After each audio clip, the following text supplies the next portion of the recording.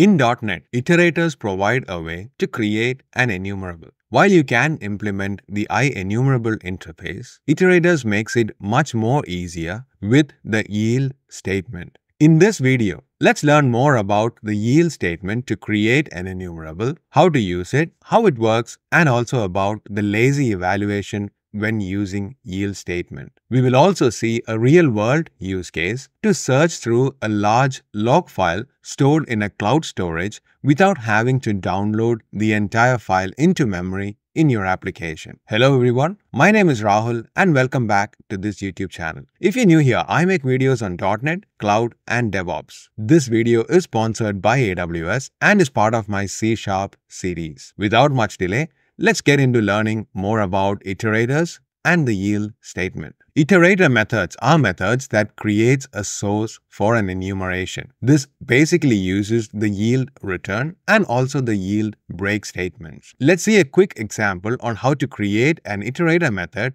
using these two. For this video, I will be using LINQPad, which is a scratchpad for .NET for writing quick code. I won't be using any of the standard IDEs. However, you can try this code in the IDE if that's what you prefer. So in LINQPad, I have an async task main. So let's first create our new iterator method. So I'll keep this as static and I'll make this as an I enumerable of integers.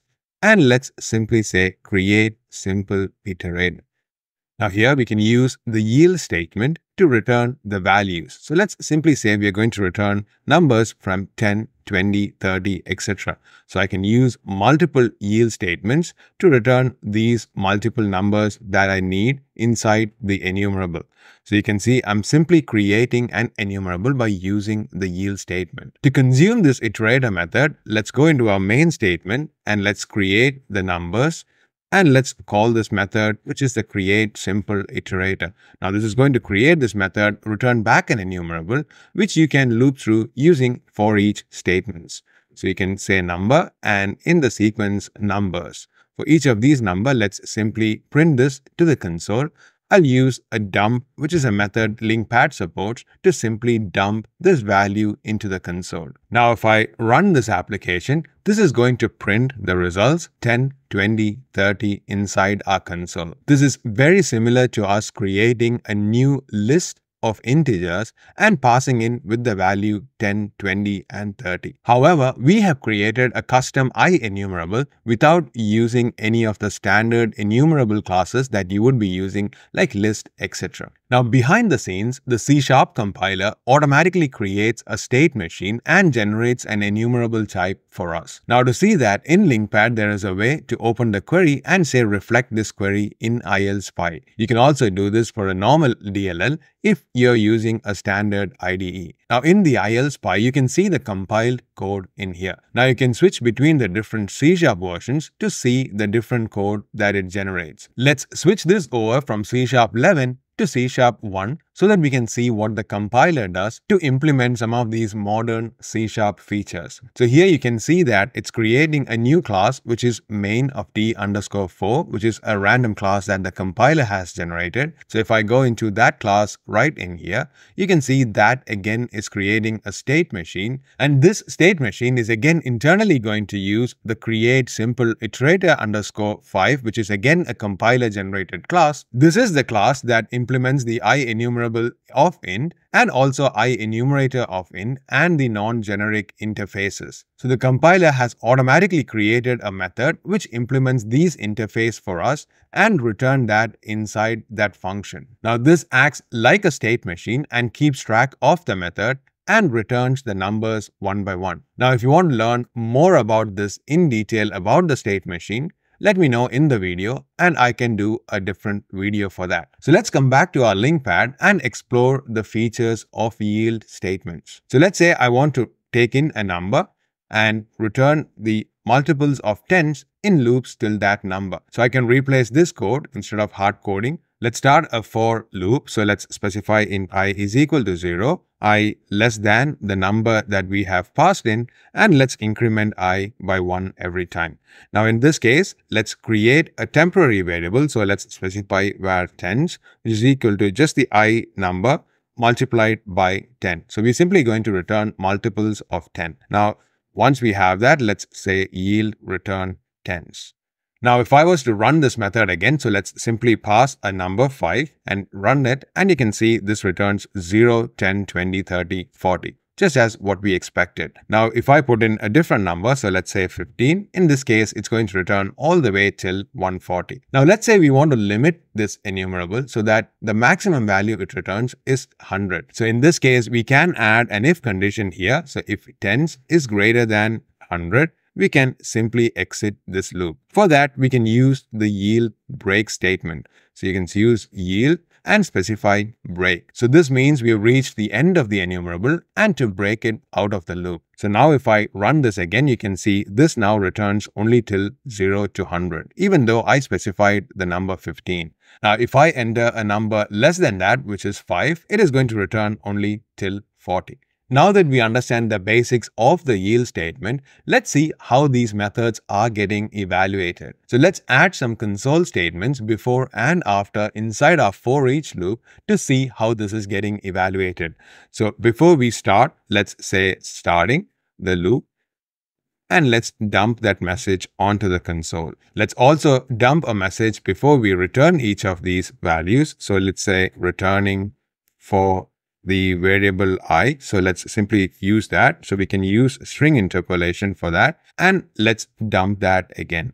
Now at the end of the loop, let's say ending and dump that message as well. So we have three spots before starting the loop, during the loop, and also ending inside the loop. Now if I run this again, so let's press F5, you can see this is starting the loop first, it's returning for zero, but it's immediately writing that value inside here, after which it returns for 1 and then it dumps that value inside our for each loop outside the iterator method. So each of these values is getting generated as it is requested and looped through in our outer loop. So as and when we ask for the numbers, it's generating them in real time. This is because the iterator methods are lazily evaluated. So it's only generating the numbers exactly when it needs to. So if I put another command inside here, so let's say printing numbers, and let's dump that, and if I put a breakpoint at the for each loop, let's run this, you can see that the printing numbers is already invoked,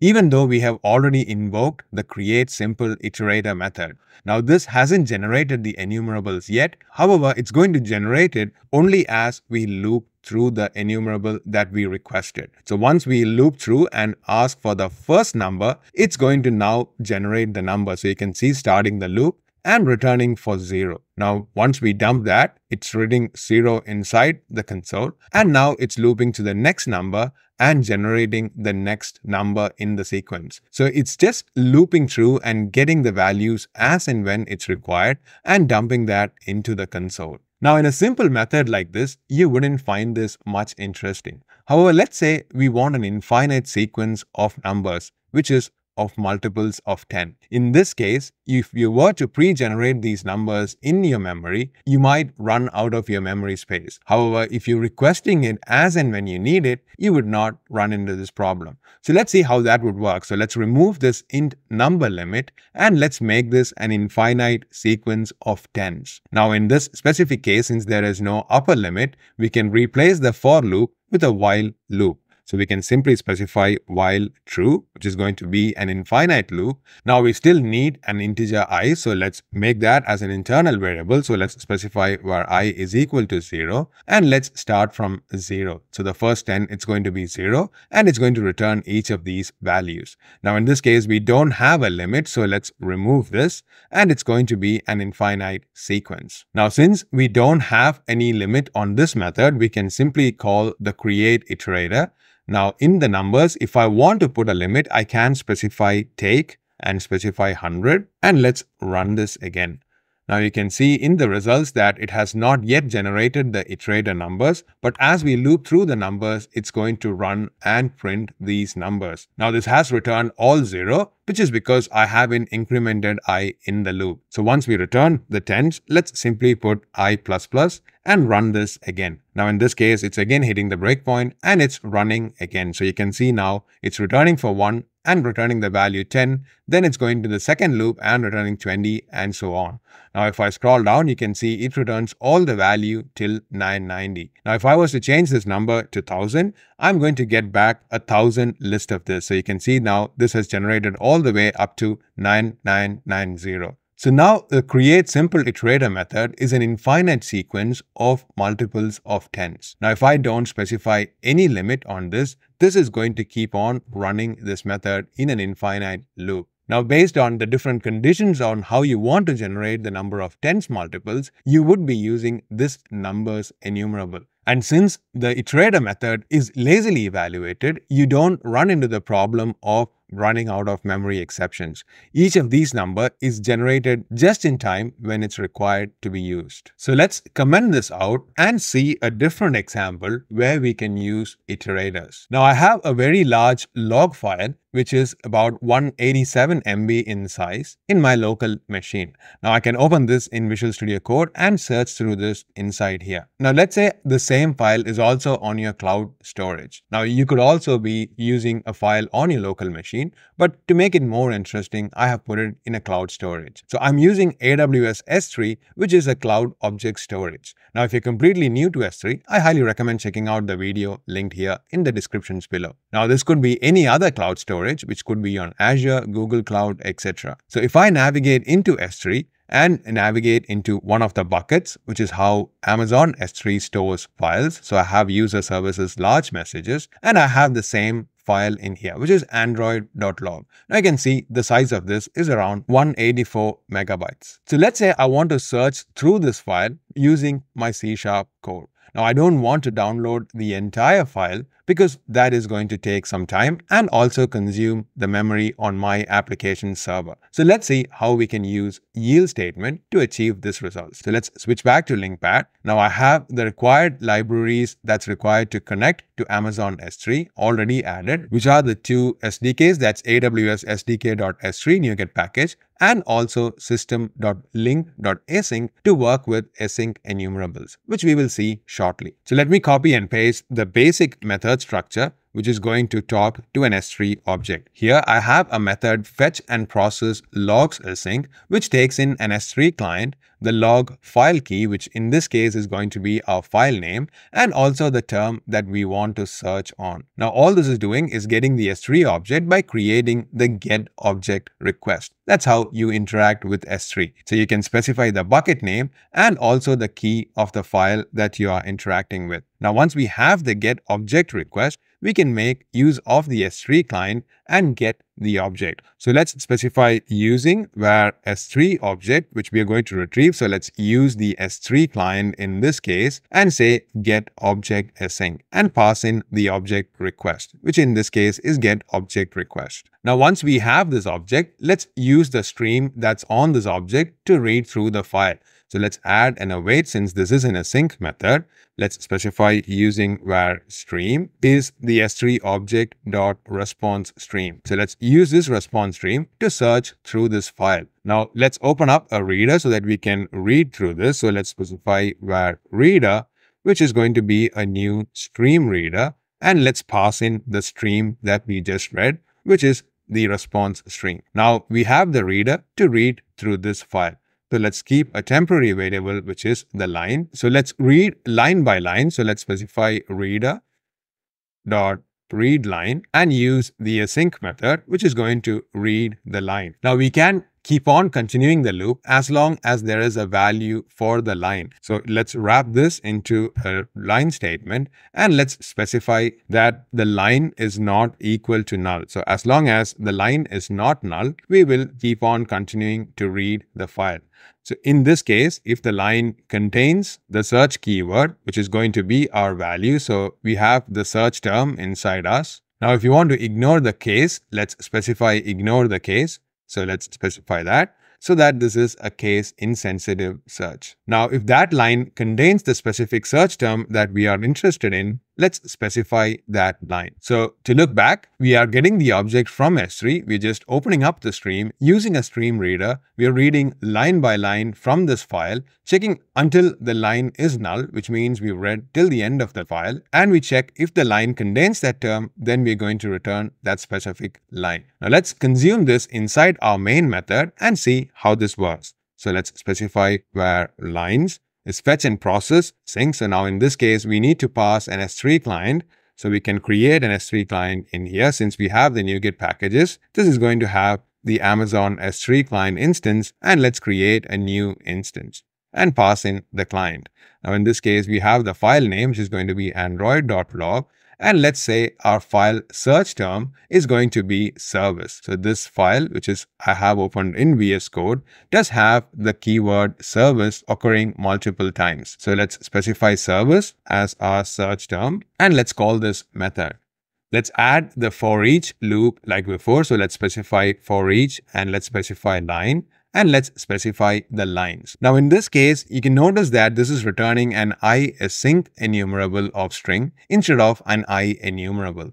This is because I am using an async await inside the method to get the file. So I have to read through the stream, read line by line, and each of these are an async await method, which is why I'm using an async enumerable. Now if you're completely new to async enumerables, I highly recommend checking out my video, which will be linked here and also in the descriptions below. Now to consume this, instead of simply using a for each, I'll have to use an await for each. Now on the lines, I can put a constraint. So let's specify take and let's specify take 100. So it's going to return the first 100 occurrences. Now, once we have the line, I can dump this into the console like before. So let's run this again. Now you can see it has logged out all the lines which has the word service. Now this ran very quickly even though the file we are searching through is very big. So this has definitely not downloaded the entire file into memory to search through this. What this has done is it's reading through the stream, it's reading each line by line and searching that and returning as required. Now if I want less number of records, so let's say if I need only 10,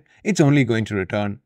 Now, if we were to write the log statements inside here to see the execution, you can see that this is also getting lazily executed. Now, if I want more statements, so let's say if I want 200 of these lines and run that, it's going to return as many as it can find. Now, if there are no more lines with the server statement, then it's going to cap whatever limit it has in that file. I hope this helps you to understand about iterators in C Sharp, the yield statement, and how to use it in real-world use cases. If you like this video, please make sure to hit the like button. If you want to be notified of future such videos, please hit that subscribe button. It also helps me to grow this YouTube channel. Thank you and see you soon in the next video.